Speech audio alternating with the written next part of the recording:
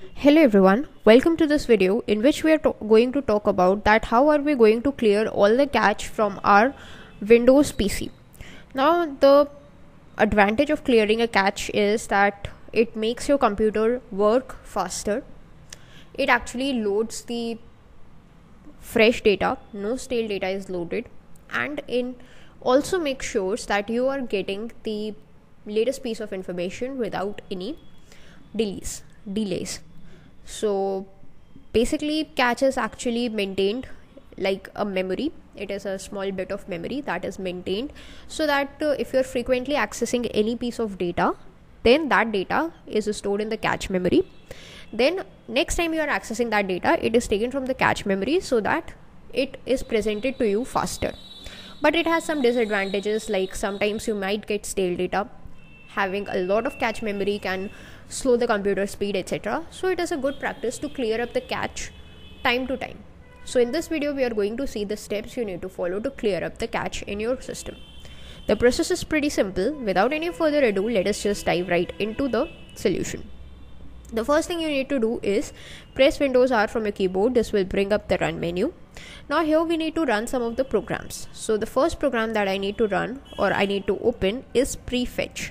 So p r e f e t c h prefetch. Click on ok or press enter.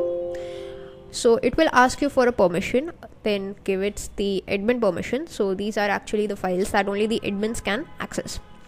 So if you see these are all the temporary files that um, are maintained by our pc and by deleting these files our pc speed will improve. So just press ctrl a shift then delete. So shift delete make sure that your items are permanently deleted. They are not stored in the recycle bins but they are gone for once and forever. So let's just click on yes. There may be some files which will give you a warning. So just skip this file. So these two files have been skipped. These are actually the files of the programs that we're currently using onto our pc that's why it's not able to delete them. So it's fine with us. So prefetch deletes the cache next what you need to do is again run windows r from your uh, keyboard. This time search for temp. T e m p temp t capital.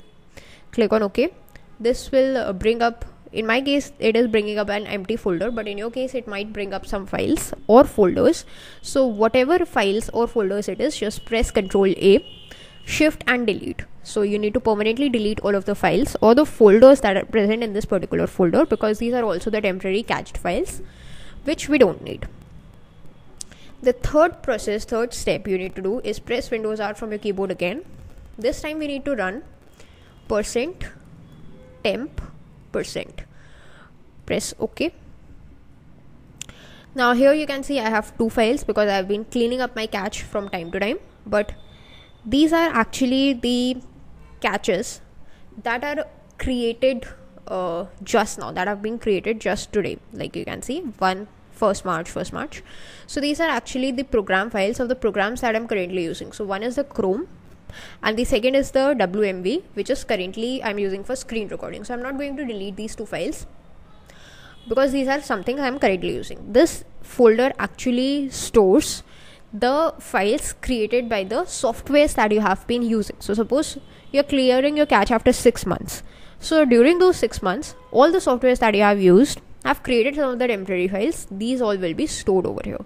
So whatever files are there just press ctrl a to select them all then shift and delete to delete them permanently from your system. We don't need those files okay? Just close this.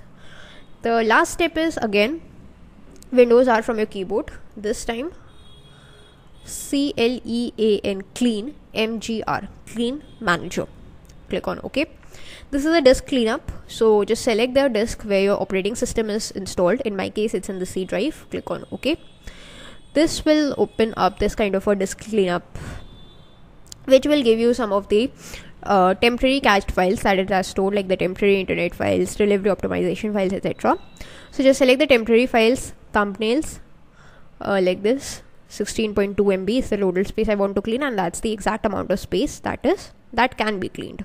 So click on OK. Click on delete files. It's going to take a few seconds. Then it's going to delete all of those files. Now uh, that's uh, how you can clear the cache if you want to see the difference you can just open up any folder. Let's say I open up this folder. So now it takes a second for the thumbnails to load. Like if I open this folder again it is taking a second for the thumbnails to load. They are not cached for me so this is actually the difference uh, that happens when you delete the cached information. It actually increases your computer speed but then uh, it takes a second or two to load the data file so that's how uh, you can delete the cache from your system. That's it for this video. Thanks for watching